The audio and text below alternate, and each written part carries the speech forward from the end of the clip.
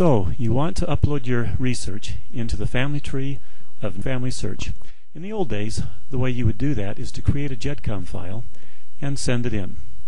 However, Family Search does not currently accept GEDCOM files, but gratefully Ancestral Quest contains a feature that will allow you to upload your data to Family Search Family Tree.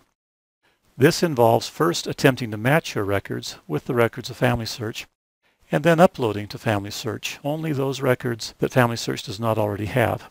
This process is quick and easy.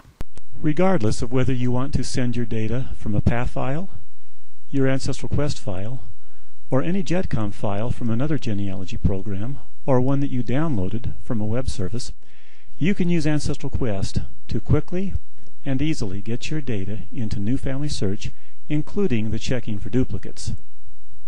Let's teach you the three quick and easy steps to accomplish this. To start, open up Ancestral Quest. Next, click on File, Open, and browse for your file. If you're using an Ancestral Quest file, it will probably have already come up. If not, select your file from your hard disk or thumb drive. Let's use a PAF file for this example. Our first step is to check our records to see if any already exist on the family tree of Family Search. So go to Ancestral Quest's Family Search menu and go down to the Link Groups option. Notice that by default, you are encouraged to select a small group. We recommend under 100 records at a time. In our example, we only have 99 records, so let's just match the entire database. So we'll select all and start matching. Now, Family Search has limited Ancestral Quest so that Ancestral Quest won't overload the Family Search system. So this may take a few minutes. I'll pause the recording so you won't have to wait. Okay, Ancestral Quest is finished matching your records against the family tree of New Family Search. It has identified which of your records seem to be matches versus which are likely not in Family Search. So now let's go to step two. Let's view the list of positive matches. Notice the divider here in the screen. On the left side is information from your local PAF, Ancestral Quest, or GEDCOM file. And on the right is information from New Family Search. Now you probably have a better screen resolution than we can record here in this video, so you could see more of this at a time without having to scroll so much. You could spend time now carefully reviewing these records by selecting one record at a time, then clicking on the preview button.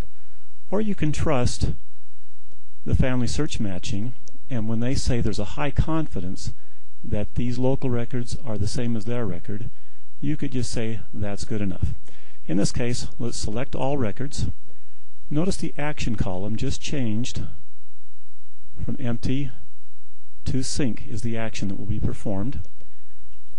Let's now click on the process button and say link only and Ancestral Quest will now begin to synchronize one at a time these 60 matched individuals.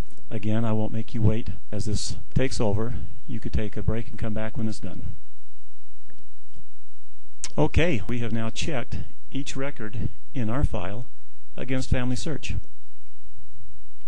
Let's close this screen. And now we're ready to take a look at the records that were not found out in Family Search. So let's view those 39 records. If you suspect that any of these records might actually be in Family Search, but that the matching process may not have found them, you're encouraged to select each individual, push the search button to do a more thorough search on each one. In this case, we will trust that Family Search found the ones that can be found. We will click the Select All button.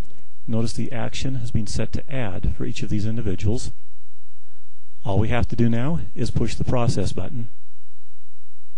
Now notice, if this were a GEDCOM that you were uploading, you would be sending all events and notes. So we will set the option to all events and notes and proceed with all.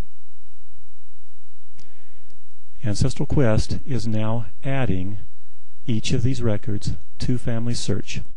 Because of the synchronizing we did in the previous step, as Ancestral Quest adds these records to Family Search, it not only adds the record, it is also able to link them properly into the families.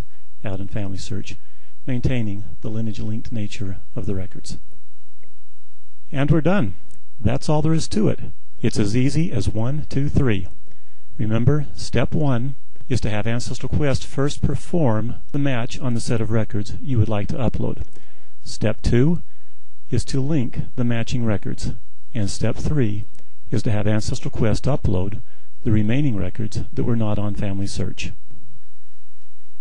Notice now that the process is done that each record in your file also has the corresponding Family Search ID. This makes it easy for you in the future to look that record up in Family Search if you want. Let me show you one more thing. If you go to Ancestral Quest name list and set a column to show the NFS ID, you can quickly see the IDs next to each name in your database. In summary, Ancestral Quest lets you upload your data to Family Search while avoiding the duplication that would occur through GEDCOM. It's as easy as one, two, three.